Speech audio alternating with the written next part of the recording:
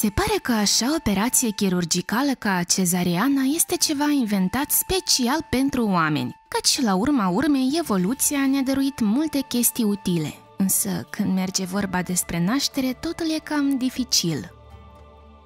Dar azi am aflat că și vacilor le fac cezariană și iată aici evoluția sigur n-are de-a face cu asta nimic.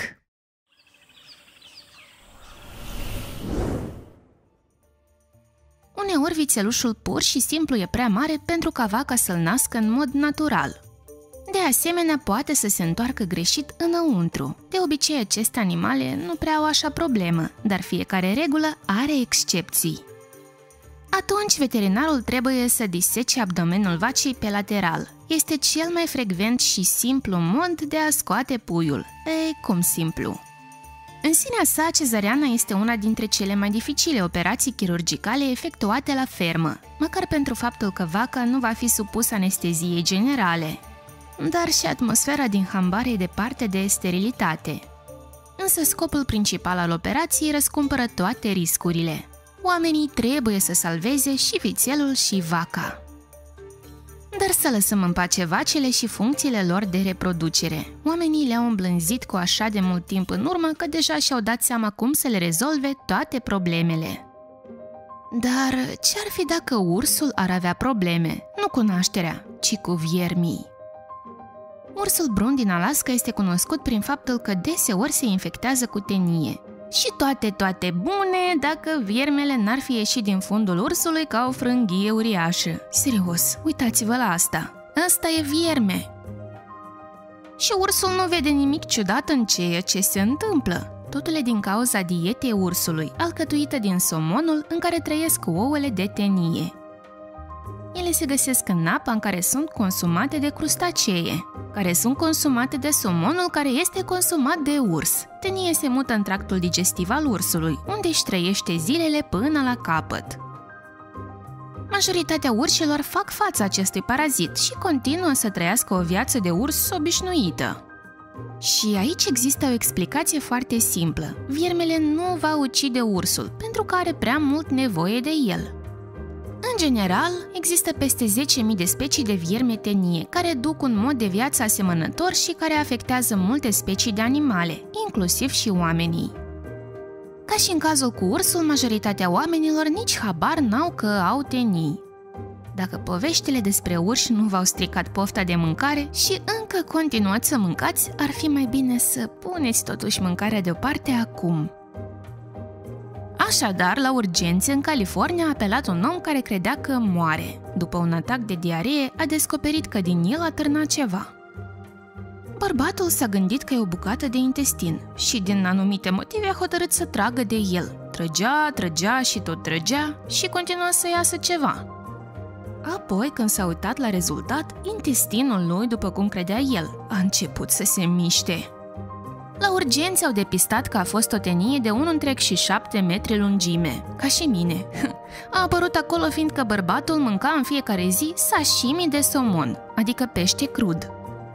Da, prieteni, fiți mai atenți cu așa feluri de mâncare și haideți să vorbim despre ceva mai puțin neplăcut. La sigur știți că urechile păsărilor sunt niște găuri, împodobite efectiv cu nimic se văd doar atunci când penele de pe părțile laterale ale capetelor păsărilor sunt date într-o parte. Dar, prin urechile bufnițelor pot fi literalmente văzuți globii oculari. Uh, nu glumesc acum. Ca și majoritatea păsărilor, bufnițele nu au structura urechii externe, pe care o au majoritatea mamiferelor. Însă și faptul cum arată urechile lor este deja surprinzător. Dar posibilitatea de a vedea prin ureche înăuntru craniului este prea mult. Nu am habar ce părere au bufnițele despre așa examinare, dar puțin probabil că sunt entuziasmate. Acum ne vom scufunda literalmente în altă temă. Cum luptau înainte pirații dacă o navă îi ataca undeva în mijlocul oceanului? Toți știm, datorită filmelor. Mulțumim! Dar ce să facă oamenii dacă pirații atacau saturile lor? Să se ascundă, dar profesional – Insula Icaria în Marea Egee e locul în care pot fi găsite multe case deghizate, construite sub niște stânci gigantice. Pentru ce? Ca pirații să nu le observe. Acum desigur că au devenit doar o atracție turistică, dar cu sute de ani în urmă, oamenii doar așa și puteau să se salveze de raidurile permanente ale piraților. În secolul XIV, înainte ca insula să devină parte a Republicii Genova, pirații au devenit atât de îndrăzneți încât localnicii au distrus propriile porturi ca să țină invazia la distanță. Însă asta n-a fost de ajuns. Atunci localnicii au decis să ia măsuri disperate și au părăsit casele de pe coastă și au emigrat în munți. Acolo construiau case antipirați, ascunse în stânci, ca din partea mării insula să pară pustie. Și chiar dacă pirații coborau la mal, oricum nu vedeau casele. Localnicii se pricepeau în ale siguranței, nu? Casele nu aveau hogeaguri, oamenii evitau utilizarea focului și a oricăror alte surse de lumină. Nu țineau nici câini, de frică că lătratul lor va ademeni oaspeții neinvitați. Comunicau în general noaptea. Trăiau foarte modest, dar modul lor de viață a dus în mod neașteptat la longevitate. Chiar și astăzi, fiecare al treilea locuitor al insulei Icaria trăiește până la 90 de ani. Iar acum câteva mistere. Câteva mii de broaște s-au umflat și au explodat în Walton, unul dintre cartierele Hamburgului. Măruntaiele lor au stropit o zonă până la un metru pătrat. Administrația orașului a fost în panică. Au început să circule cele mai surprinzătoare zvonuri legate de cauza a ceea ce s-a întâmplat. De la un virus misterios până la decizia personală a broaștelor de a exploda. Dar care a fost de fapt motivul adevărat? Cât de straniu n-ar suna, dar de vină era lipsa ficatului. Unul dintre experții germani în amfibii, Frank Muchman, a descoperit că toate broaștele cercetate în Hamburg, atât vii cât și cele deja moarte, aveau aceleași incizii rotunde pe spate, destul de mici, ca să poată fi comparate cu ciocul de pasăre și nu aveau ficat. Se pare că ciorile le scoteau ficatul. După ce ficatul dispărea, broasca înțelegea că a fost atacată. Se umfla, că e un mecanism firesc de apărare pentru ele, dar din cauza că nu are diafragmă sau coaste, fără ficat pur și simplu n-are cum să țină celelalte organe. Ca rezultat, plămânii se extindeau atât de tare că se rupeau, iar restul organelor pur și simplu erau aruncate în afară ca o fântână arteziană.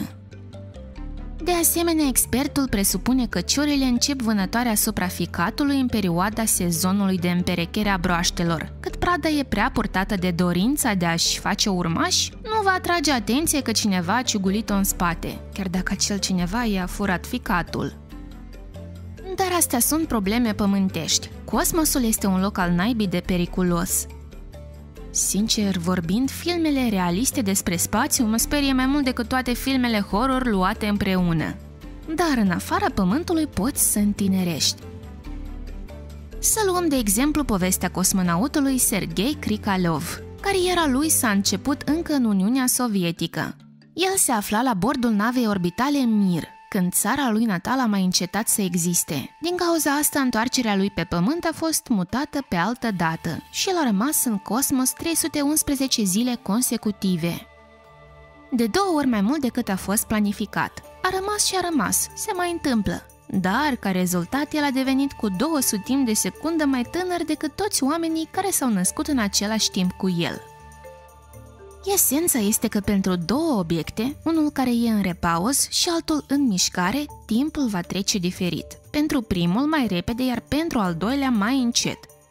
Cu cât mai repede vă mișcați și accelerați, cu atât mai mult încetinește timpul. Da, fizica uneori poate fi stranie.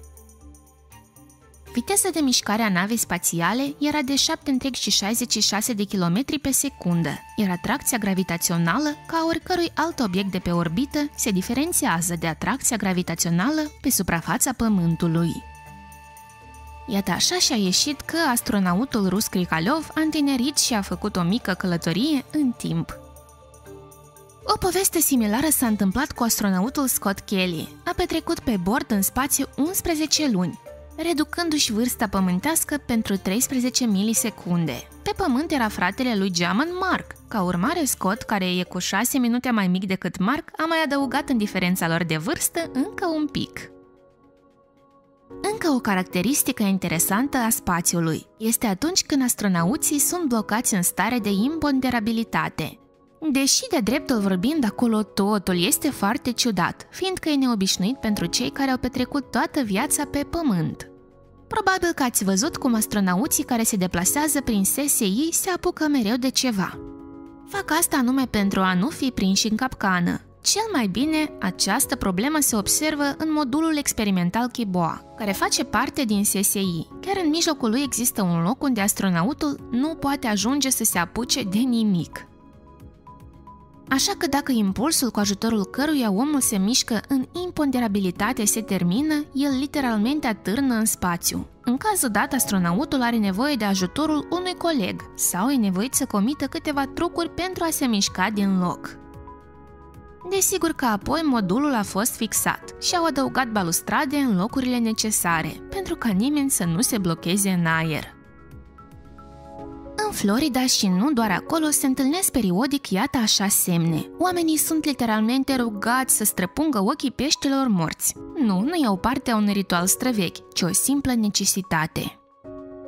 Chestia e că înăuntru unui pește mort se formează gaze. Este un proces natural, care însoțește descompunerea. De obicei, peștele mort este aruncat în apă. Plin cu gaze, plutește pe suprafață și asta atrage păsările, dar ele sunt doar o parte a problemei. Peștele ăsta mort plutește pe suprafață, fiind expus la soare și se împuțește. Și miroase foarte urât prin jur. Să fim sinceri, nu este mirosul pe care ați vrea să-l simțiți când mergeți la o plimbare pe lângă vreun corp de apă. Dar iată dacă ochii peștelui mort vor fi străpunși, toate astea vor fi evitate. Și peștele viu uneori la fel e străpuns. Nu e acțiunea unui om care urăște peștele, este o necesitate. Peștele prins și extras rapid din apa adâncă deseori are semne de depresurizare. Da, ca avionul. Semnele evidente sunt vezica notătoare umflată excesiv, comportamentul instabil în timpul înnotului, imposibilitatea de a se scufunda în apă când este eliberat. Pe scurt, peștele se umflă din cauza diferenței de presiune și nu poate să se scufunde corespunzător. La urma urmei, organele lui se deteriorează sau moare, pentru că nu poate să se scufundă. Pentru a ajuta peștii în așa situații și pentru a le spori rata de supraviețuire, este folosită dezumflarea artificială a vezicii notătoare. Prin mușchii peștelui este injectat un obiect subțire, care străpunge vezica. Da, există și riscuri, deoarece peștele poate fi străpuns nu acolo unde trebuie, căci puțin probabil să aștepte calm până veți face așa operațiune. La urma urmei pot să se infecteze de vreo prostie când se vor băga înapoi în apă. Această procedură de desumflare se folosește în timpul turneelor de pescuit, când oamenii scot captura din apă, dar apoi trebuie să o elibereze. Există vreo modalitate de a evita problemele pentru pește și consecințele? Desigur, să nu pescuiască peștii de la dâncimi mari. Și dacă totuși am menționat peștii, trebuie să vă mai povestesc despre un caz. Când auziți pește de aur, ce vă imaginați? Un locuitor micuț și colorat al acvariului, care e dăruit copiilor ca primul animal de companie. Um, cam nu prea uneori. Peștele prins în Franța cântărește 30 de kilograme. Tehnic, specimenul pe nume Morcov nu e tocmai un pește de aur. Este un hibrid cu gene ale crapului coi, dar asta nu e atât de important. De fapt, mărimea peștelui de aur este determinată de mediul înconjurător. Un pește ținut într-un acvariu mic, hrănit modest, va rămâne mic din cauza stresului și va rămâne așa până la moarte. Dar dacă același pește va fi plasat într-un acvariu mai mare și dacă va primi mai multă hrană, va crește rapid în mărime. Asta s-a și întâmplat cu Morcov. Cu 20 de ani în urmă a fost eliberat într-un lac. Acolo a mâncat bine și a adăugat greutatea unui copil mediu de 10 ani. Pentru a scoate peștele din apă, oamenii au avut nevoie de 20 de minute. Morcov apoi a fost fotografiat și desigur că e liberat. În faptul că peștele de aur a supraviețuit în condițiile sălbăticiei, nu-i nimic impresionant. De fapt, majoritatea peștilor de aur sunt foarte rezistenți și mănâncă tot ce le cade. În unele părți ale Americii sunt chiar o problemă pentru speciile locale, căci transmit paraziți și sunt considerați invazivi. Prieteni, scrieți-ne în comentarii ce ați aflat nou în episodul de astăzi. Nu uitați să ne dați un like și să apăsați pe clopoțel pentru a nu rata următoarele episoade. Pe curând!